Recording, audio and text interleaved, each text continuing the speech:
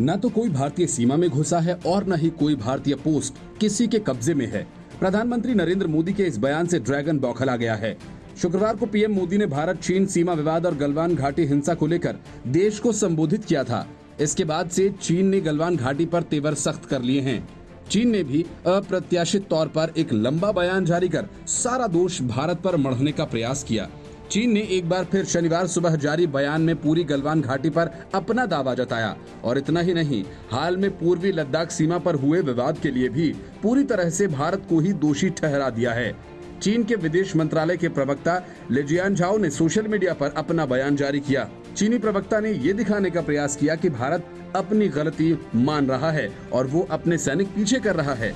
चीनी दावों के विपरीत सच्चाई ये है कि भारतीय सेनाओं ने चीनी सीमा से लगे अग्रिम मोर्चों पर तैनाती बढ़ा दी है।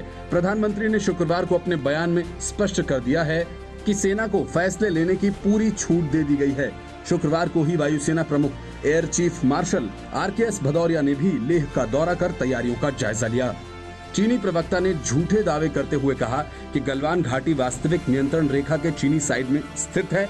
कई वर्षों से यहाँ पर चीन की सेना पेट्रोलिंग करती आ रही है। अप्रैल से भारतीय बॉर्डर सैन्य बलों ने वहाँ मनमाने तरीके से सड़क, पुल और दूसरी सुविधाओं का निर्माण शुरू किया।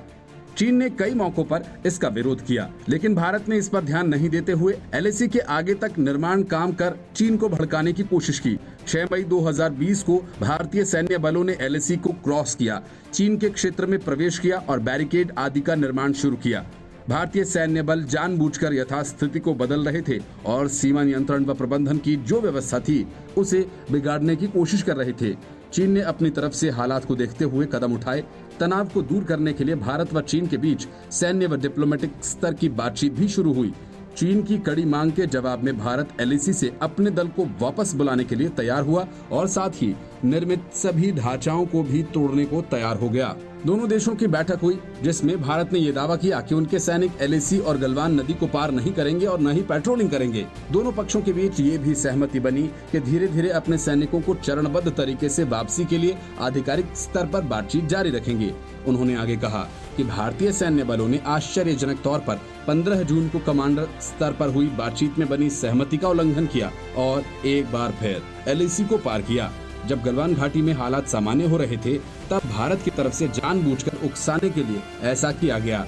भारतीय सेना ने चीन के सैन्य अधिकारियों व सैनिकों पर हिंसात्मक प्रहार किया, जिससे झड़प हुई और जाने गई चीनी प्रवक्ता के दावों के विपरीत सच्चाई ये है कि चीनी सेना पिछले करीब डेढ़ महीने से लगातार पूर्वी लद्दाख में बॉर्डर प्रोटोकॉल का उल्लंघन कर रही है। चीनी सेनाएँ न केवल प्रतिबंधित क्षेत्र में लगातार गश्त कर रही हैं, बल्कि टेंट लगाकर अपनी अस्थायी पोस्ट भी बना रखी है।